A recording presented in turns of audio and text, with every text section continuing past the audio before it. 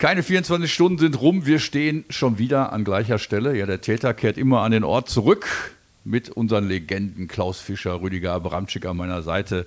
Schön, dass ihr da seid, schön, dass wir reden können. Weniger schön, wie es gestern ausgegangen ist, 0 zu 2 gegen Freiburg.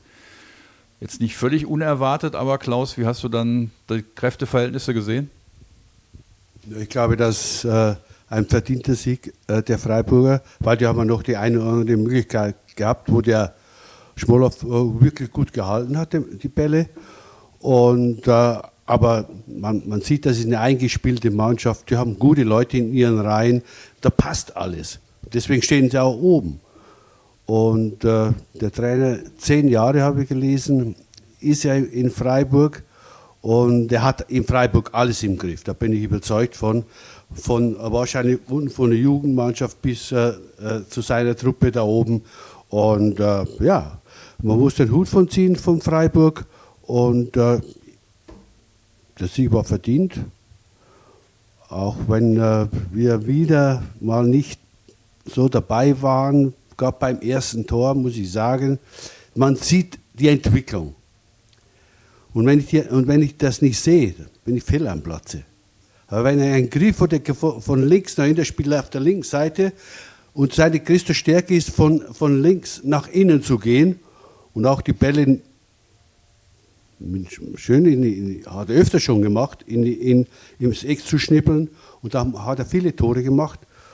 Aber da muss ich wieder sagen, das muss ich erkennen, ich muss wissen. Der wird darüber sprechen. Mit, wer spielt da auf der linken Seite? Ja, dann lasse ich ihn da vorbei, wo er ungefährlich ist und nicht da, wo er gefährlich ist. Und dann äh, da haben wir wieder nicht aufgepasst und oder vielleicht wissen die gar nicht, dass der, dass der das so macht, weiß ich nicht, kann ich nicht sagen. Äh, wir sind ja nicht dabei. Aber das sind solche Sachen, da führen die 1-0 und ja, die stehen ja kompakt, die lassen nicht viel zu. Wir haben welche, welche, welche Torchancen hatten wir? Hatten wir eine? Drei bessere. Ja, der Chalanolo, der knapp drüber schießt, ja. Mohr am Ende knapp daneben ja. und die größte Kraus, wo der so unter dem Handschuh erst durchrutscht, aber dann liegen bleibt. Ja. Ne, da wäre es 1-2 gewesen, da wäre hier nochmal eine Viertelstunde Brand in der Hütte gewesen. Abi, wie hast du das gesehen von den Möglichkeiten, die die Mannschaft in dieser Saison gezeigt hat und das, was dann jetzt am äh, Spiel, beim Spiel gestern gezeigt wurde? Ja, man muss erst mal sagen, dass, äh, dass er ja so ein bisschen mit Karaman, den hat er ja mal getestet, der hat die ganze Zeit überhaupt nicht gespielt. Polter rein, den kennt er aus Bochumer Zeiten, da hat er sich wahrscheinlich auch ein bisschen mehr versprochen, also am, Sam am am Sonntag, ne?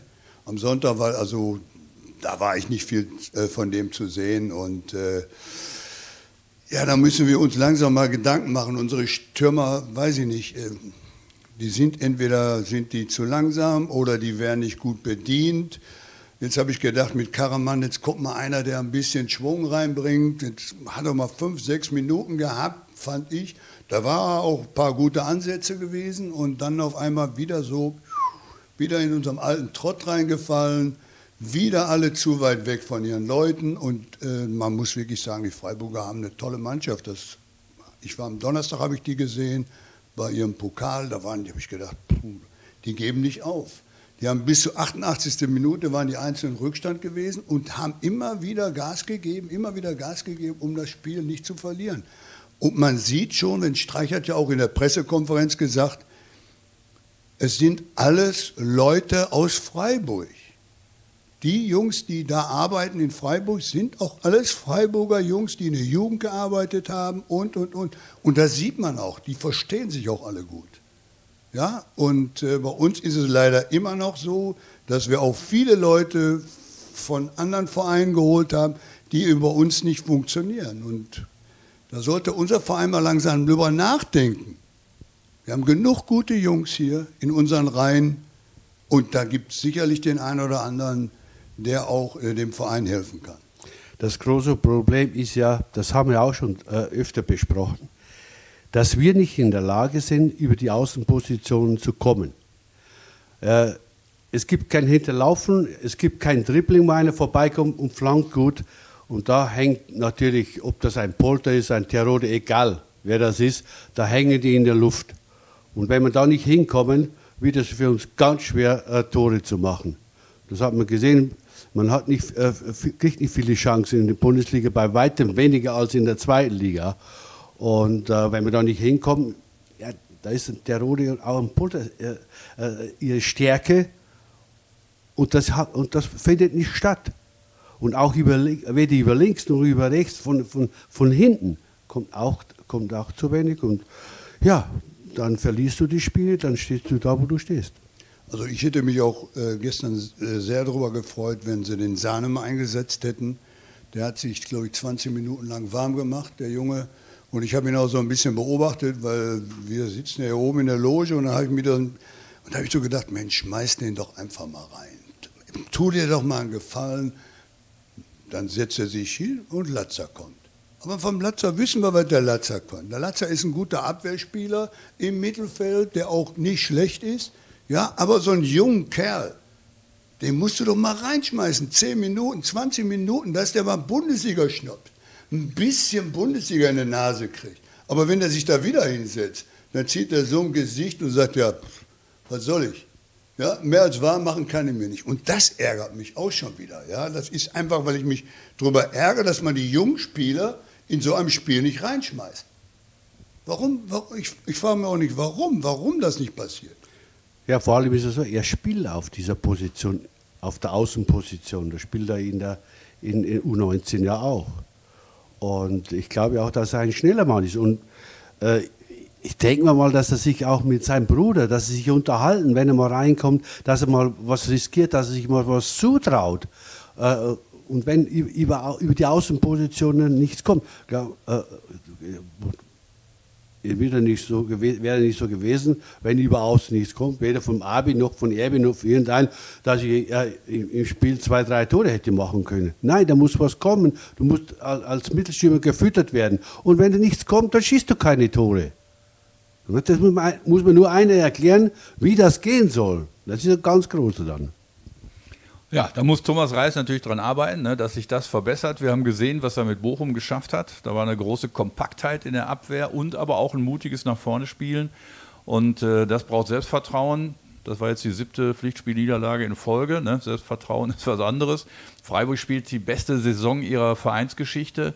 Erste Mal in, ihrem, in ihrer Vereinsgeschichte im Europapokal Achtelfinale. Ne? Die kommen natürlich, und das hat man gesehen, äh, in all diesen Szenen mit einem ganz anderen äh, Selbstvertrauen her, haben eine bessere äh, Grundordnung, haben ein besseres System. Ne? Da ja, läuft vor allen Dingen, du, du kannst äh, jeden da reinschmeißen. Wenn du drei Leute rausnimmst und drei wieder reinbringst, ist die Qualität genauso. Und das finde ich äh, an einem Verein, die, sage ich mal, über Jahre ja auch rum, rumgeplatschert sind in der Bundesliga, dass die jetzt auf einmal sowas hingekriegt haben. Das muss man Streich sagen. Das hat er hingekriegt. Und das haben die alle hingekriegt. Komischerweise. Ja, und jetzt muss man, jetzt muss man erstmal, man muss ihm erstmal ein bisschen Zeit geben auch. Er muss die Leute muss er ja kennenlernen und dann muss irgend, irgendwas kommen. Äh, es sind noch zwei Spiele bis äh, drei. drei Spiele drei. bis zur Pause. Eine englische Woche. Ja. ja. Aber in Bremen gegen Mainz und gegen Bayern ja, München. Du bist, ja schon so, du bist ja schon so weit hinten. Ja, die anderen gewinnen auch. Wenn du, wenn du siehst, äh, wie Augsburg in München gespielt hat oder, oder die anderen Mannschaften auch, auch, auch die Bochum sogar gegen, gegen Frankfurt und gegen Union Berlin gewonnen und wir gewinnen kein, kein Spiel, ja, da, da kommst du nicht hinten raus. Da, da, ja, ich hoffe, Sie, Sie lassen sich was ja, einfallen. Die, die, Heimspiele muss ja auf jeden Fall mal punkten. Da ist egal. Ich habe auch immer gesagt, und wenn du nur einen Punkt holst, ein Punkt ist mir lieber, als wenn du wieder mit leeren Händen dastehst, vor allen Dingen auch für ein Selbstvertrauen. Das Selbstvertrauen geht ja immer mehr flöten. Die glauben ja schon gar nicht mehr, dass sie zu Hause gewinnen können. Das ist so ein bisschen wie wir hier diese Szene hatten hier mit Corona, wo wir auch, weiß nicht, wie viele Spiele nicht mehr gewonnen haben. So habe ich jetzt das Gefühl, fängt das schon wieder so ein bisschen an. Also der Reis muss jetzt ganz schnell äh, eine Mannschaft zusammensuchen und äh, die Mannschaft auch mal spielen lassen und nicht so wie vorher mal rein, mal raus, der rein, der rein. Einfach jetzt spielen lassen und einfach daran glauben, dass die Mannschaft das schafft. Ich denke mal, äh, dass dann noch genügend Zeit da ist. Es ist nicht schon äh, sagen wir, spät in der Rückrunde, sondern ist nicht genügend Zeit da. Und ja, die Tugenden die du brauchst, um da rauszukommen, so sehe ich die nicht, wie es sein sollte. Dass du Gas gibst ohne Ende, dass du in die Zweikämpfe gehst und nicht, äh, wie wir schon in der Vergangenheit gesehen haben, dass wir den Gegner erlassen. Wir haben es ja auch angesprochen, auch beim Pokal gegen äh, Hoffenheim, wo wir zugeguckt haben mit neun Mann hinten und die hatten sechs Mann und, und konnten die Gasse spielen, nach Gasse laufende Kantone machen. Das, das, das darf einer Mannschaft nicht so oft passieren.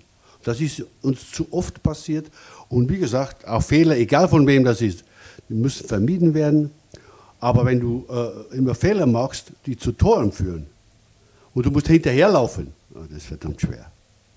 Ja, mein, gestern haben wir gesehen, das fand ich jedenfalls in den ersten zehn Minuten, hat die Mannschaft versucht, auch eine gewisse Härte reinzubringen, aber es ist alles als faul gepfiffen worden. Ne? Unter anderem, weil Polter teilweise auch zu offensichtlich gemacht hat. Da wurde immer gegen den entschieden und gegen alle anderen aber auch. Und dann irgendwann verpufft das dann wieder. Ne? Ja, wenn einer vorbeigeht und ich halte ihn fest, gibt sofort gelbe Karte. Warum? Im Mittelfeld. Lass ihn da laufen, genügend Leute noch da, die den aufnehmen können. Da hole ich mir keine gelbe Karte. Das hat mit Dummheit zu tun.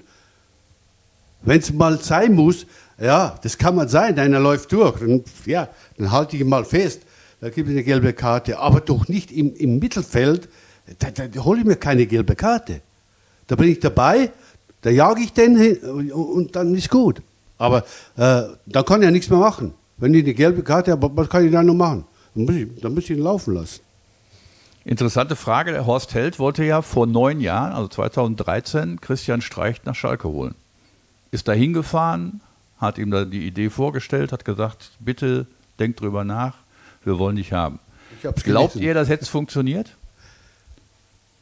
Das weiß ich nicht, aber ich glaube, dass er in Freiburg sich ganz wohl fühlt, das merkt man ja auch. Ja. Und auch äh, in dem Verein natürlich jetzt nicht alleine das Sagen hat, sondern ich glaube, da ist eine ganze Gruppe bei und die werden auch öfter mehr besprechen, als wir alles wissen. Davon bin ich fest überzeugt. Weil in der Pressekonferenz hat er ja gesagt, bei uns sind alles ehemalige dabei und wir diskutieren auch oft und, und, und. Und wir sind ja jetzt den Schritt, den sie eigentlich machen wollten, nach oben, den haben sie jetzt geschafft. Nach langen Jahren, aber es hat funktioniert. Aber der hat das in die Hand genommen, mit Sicherheit, und hat, hat das immer weitergeführt. Wer da dabei ist, das liest man überhaupt nicht. Vom Verein schon mal gar nicht. Dass da sich jemand einmischt. Er führt das Ruder und es ist ja nicht nur äh, seine Mannschaft, auch die Amateure, die, die U, U23, die spielen auch ziemlich hoch. Hm. Ja, jetzt weiß ich, weiß ich nicht, wie die U19 äh, im Süden da stehen. Dritte Liga, ne? Nee, die waren es, glaube ich. Die sind nicht mehr in der dritten, ne? Da kann ich jetzt nicht sagen. Also Auf die U19 Fall ist natürlich in der Bundesliga da unten. So kommt mir das vor, hat ja alles im Griff. Und lässt auch ja, keine... und vor allen Dingen, Klaus, er lässt auch mal junge Spieler spielen. Ja, der gibt denen Selbstvertrauen und sagt, du, spielt mal. Und das finde ich auch gut. Weißt du, das, das, das, schätze ich unheimlich an dem Mann, weil ich glaube einfach, dass er erkannt hat, dass er mit den jungen Spielern, die sich so diese langsam ranführen, dann auch ein bisschen Selbstvertrauen kriegen für die Bundesliga und dann auf einmal natürlich geht der Schuss so schnell nach oben, äh, wie geht nicht mehr. Man muss ja, wenn man das sieht, welchen Erfolg die Freiburger hatten, welch, was sie erreicht haben bis jetzt schon, da muss man Hut von ziehen. Und das hat mit diesem Namen Streich zu tun, nichts anderes. Ja, und dass es eben der Unterbau so gut funktioniert ne? und die das anderen Personen da das auch schon, wer weiß, wie lange dabei sind, sei ja Hartenstein und so weiter, die genau. da im Hintergrund stehen, die keiner kennt außerhalb von Freiburg, die aber auch seit zehn Jahren schon da sind und mit ihm zusammenarbeiten. Er hat ja auch Spieler dabei, die schon in der Jugend unter ihm trainiert haben. Genau, ne? Und ähm, das ist einfach eine runde Geschichte und er hat ja da ist er ja ganz fair und in der Draufsicht, der mag ja Schalke, hat ja schon oft genug gesagt, wie, wie toll er das Ruhrgebiet und, und gerade Schalke 04 findet. Aber er sagt auch, bei uns ist es natürlich viel einfacher zu arbeiten. Ne? Das hat viel, viel, viel ruhiger. Und er ist, damit, er ist ja schon abgestiegen auch mit Freiburg, so ist es ja nicht. Dass er seit zehn Jahren oder seit er da ist, immer in der Bundesliga gespielt hat ist abgestiegen. Und die haben aber trotzdem, der Verein hat zu ihm gehalten, weil sie genau wissen, wie arbeitet der, wie tickt der und hat es immer wieder geschafft, aufzusteigen und äh, hat jetzt diesen Erfolg. Und äh, ich gönne ihm das, weil ich wirklich sagen muss, die machen eine tolle Arbeit da in, in Freiburg und äh, man liest auch keine Skandale, kein gar nichts. Und das ist das Schöne dran. Ja.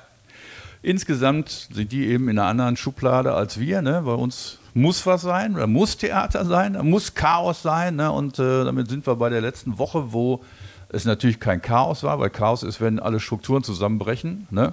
Nicht, wenn einer geht und ein anderer kommt ne, wie es passiert ist. Aber wie habt ihr das mitgekriegt? Ähm, war schon ja, ich mich gewundert, eine riesige Überraschung, ne, als die war, Meldung warum, kam, als Ruben warum Schröder geht. Wissen wir ja nicht. Ich weiß nicht, warum, warum äh, Ruben ja, Peter Knäbel hat es ja mehrfach erklärt und ja. hat gesagt, Ruven ist zu ihm gekommen, schon vor er Wochen, und hat gesagt, er kann er nicht mehr. Er schafft das nicht mehr. Er kann nicht mehr. Und ja. ähm, dann hat er ihm gesagt, komm, mach mal ein bisschen Pause. Das heißt, er, Vielleicht geht es dann mehr, besser. Ist er krank oder, oder oder warum, wenn du, wenn du jetzt mehr gehört hast als wir? Ja.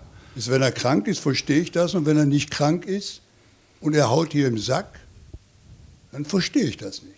Dann hätte er am Anfang an der Saison sagen müssen, ich plane das nicht, ich lasse einen anderen Plan. Ja, ich bin körperlich nicht in der Lage. Dann hätte ich gesagt, okay, alles klar, ist super, fahr nach Hause nach Mainz. Wo auch immer. Ja, ja. aber ich lasse ihm doch nicht jetzt groß planen und dann irgendwie läuft es nicht, bumm, und schon springt er ab. Und das, das finde ich irgendwie nicht richtig. Verstehst du? Aber wenn, du siehst, wenn du siehst, wie, wenn einer krank mit wie viel ist, Begeisterung mal, der dabei war. Ist, wenn einer krank ist, verstehe ich das. Aber nicht, aber nicht, ich verstehe es nicht, wenn es darum geht, ja, sein Gesicht zu wahren und zu sagen, oh, wenn ich absteige, kann ich vielleicht als Manager da oder da keinen Job mehr kriegen. Muss ich dir ganz ehrlich sagen, finde ich nicht gut. Ich finde, ich finde, wenn ich das mache, dann bleibe ich bis zum letzten Tag. Wenn ich nicht krank bin, und das sage ich nochmal, wenn er krank ist, habe ich sogar großes Verständnis für, wenn einer krank ist. Aber wenn er nicht krank ist, Schiff zu verlassen, Tut mir leid, das ist ein Bayer. also wenn, wenn du siehst, mit wie viel äh, Energie er sich da reingehauen hat, in der ganzen Zeit, in der er hier war. Wir haben alle gesagt, er ist der entscheidende Mann gewesen für den Aufstieg. Wenn du gesiehst, äh, gesehen hast, wie er, äh, ja, wie eng er da so. dran ich war. ich sehe auch, dass Büskens das auch gemacht hat. Es ist nicht der alleine gewesen. Es ist nicht alleine Schröder gewesen, der mit dem wir aufgestiegen sind. Die ja, Ohne die, die, Trainer hätten wir das auch nicht geschafft. Ja, nee, aber wenn die, wenn die Gramozis da gelassen hätten, wären wir nicht aufgestiegen. Ja. Also. Ja, ich habe, ich habe, da haben wir auch drüber gesprochen. Ich habe gesagt, nach dem ersten Spiel gegen HSV habe ich gesagt, der erlebt den November nicht. Weil so wie, wie da gespielt worden ist, kann man nicht Fußball spielen. Und Schalke schon mal, Schalke schon mal gar nicht. Und Gott sei Dank ist es dann so gekommen, dass eben der Mike Büskens äh, übernommen hat und, und, Mike hat das gut gemacht. Muss man einfach so sehen, dass er dann sagt, ja, ich möchte nur der Hermann Gerland von Schalke werden. Äh, da war ich ein bisschen enttäuscht, weil wenn ich mit der Mannschaft aufsteige und die, die wissen, wie ich ticke und ich weiß ja, wie die Mannschaft, dann bleibe ich dabei. Und das habt ihr nicht getan. Und jetzt haben sie einen neuen, haben sie einen neuen Trainer gehabt, der ein Abstiegstrainer war. Der ist ja abgestiegen mit mehreren Vereinen.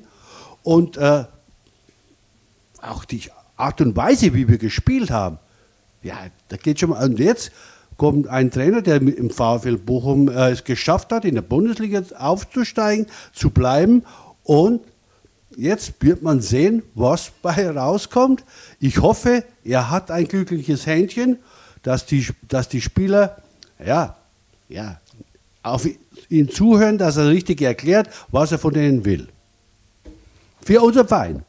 Das hoffen wir natürlich alle. Ähm, und die nächste Aufgabe ist Bremen. Ne? Also klar ist, dass der größte Teil der Arbeit, den er machen kann, in der äh, WM-Pause in Anführungsstrichen liegt, in der Vorbereitung ja. auf den Rest der Saison. Da sind ja noch zwei Spiele aus der Hinrunde. Ähm, Beispiel übrigens nur Mainz in unserer Abschießsaison hatte nach der ganzen Hinrunde sieben Punkte und ist noch drin geblieben. Also das geht schon. Das wird jetzt nicht äh, jedem gelingen, der sieben Punkte hat. Ne? Wir hatten die nämlich auch damals. ähm, und äh, aber wir können noch ein paar Punkte kriegen, bis äh, die Hinrunde zu Ende ist und dann ist noch was drin. Da muss sich natürlich eine Menge ändern und er hat diese Zeit eben, die, diese extra lange Wintervorbereitung, um all das zu implementieren, was die Bochumer ausgemacht hat. Bremen, die ist als Zweiter aufgestiegen, wir als Erster. Bremen, wo stehen die? Stehen an siebter oder achter Stelle. Und von daher muss man ja sagen, die haben auch keine großen Neueinkäufe.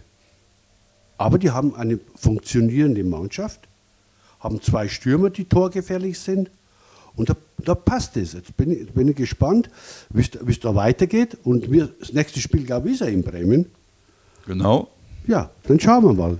Ja, aber man muss, ja, ne? man muss, natürlich auch, auch, sagen, als Trainer, wenn du jetzt hier neu hinkommst, man, man muss ihm auch ein bisschen Zeit lassen. Also lassen wir mal die drei Spiele und danach äh, werden wir dann sehen, äh, wie das weitergeht. Aber wenn wir alle drei Spiele verlieren sollten, dann wird es aber bitter, das sage ich dir. Also wir, wir, dürfen auf keinen Fall alle drei Spiele verlieren und wir dürfen auch auf keinen Fall äh, sagen, oh Bayern München ist, boah, von den kriegst du fünf oder sechs, sondern auch da muss man die Ärmel hochkrempeln und wir haben immer gut gegen Bayern gespielt. Also warum sollen wir hier nicht äh, Bayern auch mal schlagen? Ja. Ihr damals habt gut gegen Bayern gespielt. Alle, ja, die anderen äh, ist schon ein bisschen näher, ne? dass man hier mit denen in die Nähe von einem Punkt gekommen wäre. Ähm, Abi hat äh, alle Heimspiele mit Schalke gegen Bremen gewonnen, ne? aber nur einmal auswärts. Das war dein erstes Spiel mhm. äh, mit Schalke in Bremen. Ja, du, ich glaube trotzdem, dass Bremen, äh, da wird schwer. Also in Bremen haben wir uns eigentlich doch immer ein bisschen schwer getan, weil Gut, es war noch früher das alte Stadion, Weil da war es immer arschkalt, wenn man da angekommen ist. Dann bist du durch den Tunnel gekommen, boah, da hast du schon wieder, hallo, was ist denn hier los? Ja, arschkalt war das, immer, immer war immer kalt, auch im Sommer. Ich weiß nicht warum, auf jeden Fall. Ich, war, ich habe ich hab mich nie Kommt von der Weser rein. Ja, ja ich, ich kann mich gut erinnern, als Norbert Dingmann den Ball weggeschlagen hat. Der ist äh, 10 Meter, äh, 10 Meter weiter ist er da runtergekommen, genau oben, dann stehen geblieben in der Luft, weil es so windig war. Ja, das war und, und dann in der zweiten Halbzeit haben wir eigentlich mit gespielt und haben wir verloren. Ja, dieses 1 zu 0 habe ich deshalb angesprochen, weil es da den kuriosen Wechsel gab, den es, glaube ich, sonst nie wieder gab, dass du für ihn eingewechselt wurdest. 36. Äh, Minute, Fischer raus, Abramczyk rein. Ja, oh. verletzt offensichtlich. Ne? Ja, dann hat der Trainer hat wahrscheinlich der Oberschenkel gemacht, zugemacht. Also ja, für mich ne? hat der, und dann kommst du rein. Dann hatten wir gar keinen. Ivica, der hat mich nie ausgewählt. Ja, doch, 75. Ja, da muss ja, ich verletzt ich gewesen sein. verletzt gewesen sein. Da kommt Abi rein, ja. hat er mit Erwin Kremers Abi Hannes Bongartz. Also irgendwo ja, und ich habe noch zu Bibica gesagt, wie der mich einsetzen wollte. Da habe ich gesagt, um Gottes Willen, nicht für den Klaus. Also nicht für den Klaus. Ja, aber doch, hat er sehen. gemacht und ihr habt 1-0 gewonnen. Ne? Aki Ehrlich? hatte vorher schon das Tor gemacht, ihr habt schon 1-0 geführt. Da warst du doch verletzt oder irgendwas. War da ja, ja, da konnte ich nur verletzt gewesen sein. Also ich kann mir nur, weil da war irgendwie hast du was gehabt. Weil das gab es noch nicht, dass ein Trainer dann gesagt hätte in der 36. Wir führen jetzt seit acht Minuten, jetzt mache ich mal hinten dicht, nehme den Mittelstürmer raus und bringe ja, einen Flügelstürmer. Achso, 36. Minute. Ja, da, da, da war sie verletzt. Ja, da habe ich bei einem schlecht Turbo geschlafen oder, habe ich oder? wahrscheinlich bei einem Turbo-Antritt ja. habe ich da mir eine Zehrung geholt. Was auch nicht oft passiert ist, ne? Ja. Dafür, dass du so oft angetreten bist. Warst du selten verletzt. Ja, ab und, zu, ab und zu habe ich mal eine, eine Zerrung. Muskelfaserriss habe ich nicht gehabt, weil beim Muskelfaserriss musst du länger aussetzen. Und ich habe oft, wenn ich mir eine Zerrung geholt habe, habe ich auch Tage später wieder gespielt. Ja, weil du zu früh ins da Bett gegangen bist. da bin ich nach Saarlouis gefahren, Professor Hess hat mir eine Spritze gegeben und habe das getan, was er gesagt hat. Probiert, probiert am Freitag und dann habe ich Samstag gespielt. Nur in München, wo wir 7-1 verloren haben, da nicht. Da habe ich nicht gespielt. Da, sonst hätten wir auch nicht 7-1 verloren. Ja. Und Stimmt. Äh, hätten wir 7-2 verloren. da habe ich mir, da habe ich mir, äh, da konnte ich nicht spielen, habe ich morgens getestet und äh, ging nicht. Ja, weißt du, get sonst? getestet, ey, Bayern, ja. getestet. Hm, geht doch noch nicht. Ja. Äh, könnte ich auch noch in Bremen, jetzt auswärts, ne, könnte ich auch noch einen Schwank aus meiner Jugend erzählen, ausnahmsweise? Erzähl mal einen. Ja, ich habe, was gerne ich gegen Bayern gespielt habe, ich habe bei 60 München haben wir viermal gegen Bayern gespielt, zweimal gewonnen, zweimal verloren. Ein entscheidende Tor, frag nicht, wer das gemacht hat. Soll ich mal, du? Erzähl mal, was war ja. gewesen? März 1980. Ja. Kumpel und ich, ne, ich war 18, wir hatten kein Geld, 5 Mark. Damals kostete ja eine Karte, Schüler, Jugendkarte, so kostete irgendwie 5 Mark. Und, aber um nach Bremen zu kommen, wir wollten das Spiel trotzdem gerne sehen. Was haben wir uns überlegt? Wir stellen uns hier an der A2-Auffahrt in Gelsenkirchen, ne? Schal um und halten den Daumen raus und gucken, ob uns einer mitnimmt. Einer wird ja zum Spiel fahren. Ne? Zack, hält da so ein BMW an, so ein Dreier-BMW mit Spoilern und so. Da drin ziemlich junger Kerl mit seiner Perle. und sagt, ja, wir fahren nach Bremen, steigt ein. Ne? War noch Zeit genug. So, und dann fängt es an zu regnen, wie bescheuert. Und der Typ, hatten wir gelernt, hat den Wagen am Morgen gekriegt und hat auch gerade erst Führerschein gehabt und ist dann wie eine besenkte Sau durch diesen Resen. Also dieser, dieses Datum, 14. März 1980, hätte auch gut auf meinem Grabstein stehen können. Da waren mehrere Situationen bei, wo wir so ins Schleudern gekommen sind auf der Autobahn. Und die Perle hat ihn immer angefeuert. Guck mal, wie viel der drauf hat bei 180 noch. Ne? Guck mal, wie viel der drauf. Wir von hinten immer, sag mal, äh, hör mal auf, jetzt hier fahren wir vernünftig und so. Ne? Das war unfassbar. Aber du musst mit dem Fahrlehrer gratulieren, der ihm das beigebracht hat. Das Autofahren. Ja. ja, es war immer nur so knapp. Und dann haben die, zwischendurch mussten sie dann noch in Wildeshausen raus, ein Schnitzel essen für 16,80 Mark. Ne? Wir saßen daneben, hatten ja nichts, wir mussten ja die 5 Mark sparen für die, äh, ja. für die Karte. Dann sind wir noch eine halbe Stunde zu spät gekommen. Da stand schon 3-0 gegen erste uns. Mal, wie lange da machen wir das jetzt? Wie lange uns. machen wir die Sendung? Jetzt hast du zum ersten Mal was Schönes erzählt von dir. Sonst erzählst du immer über von uns beiden und wir stehen dann immer hier und wissen gar nicht, was wir antworten ja. sollen. Ihr seid, ihr Jetzt seid hast trotzdem du mal die dumm. richtig Schönes. Ihr seid trotzdem die Dumm in der Geschichte, weil wir haben das Spiel 4-0 verloren, für das ich beinahe gestorben wäre. Ne? Und als wir ins Stadion kamen, stand schon 3-0 gegen uns. Dann in der zweiten Halbzeit 104-0 und dann kommt man wieder nach Hause. Aber da haben wir noch nicht gespielt. Da, da war ich noch gar nicht auf Schalke. Da war ich noch gar nicht auf der Welt. Ja, euer letztes Spiel zusammen gegen Werder Bremen war das.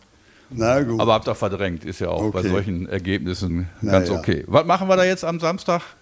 Äh, ja, Samstag. Also 18.30 Uhr, du kannst, ja, du kannst ja nur hinfahren und, und probieren, äh, nicht zu verlieren, sage ich mal. Ja? Weil wir sind nicht in der Lage, jetzt, sage ich mal, sofort so, so eine Bremer Mannschaft an die Wand zu knallen. Also das glaube ich nicht. Aber wenn wir gut stehen, so wie in der ersten Halbzeit meiner Ansicht nach in äh, Berlin, da standen wir richtig gut. Und äh, wenn wir das wiederholen können, kann ich mir gut schon was vorstellen, dass wir da was holen in Bremen. Wir sollten es.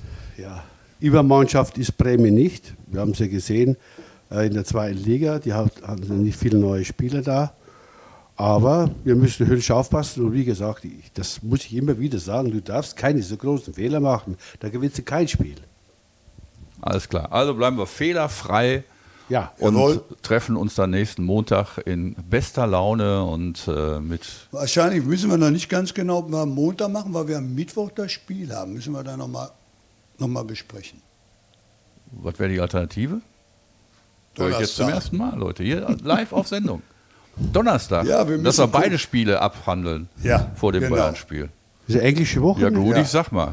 Ne? Auch ein Plan. Ja. Okay. Wir werden euch informieren. Informieren übers Internet. Der Abi hat Ideen, du, das gibt's doch nicht. Klaus ja, Fischer. muss ja mal was Neues machen. Rüdiger Abramczyk, der Legendentalk. Und Trotzdem mit Freund guter Laune. Jörg. Danke, tschüss und Glück auf. Glück auf. Glück tschüss. auf.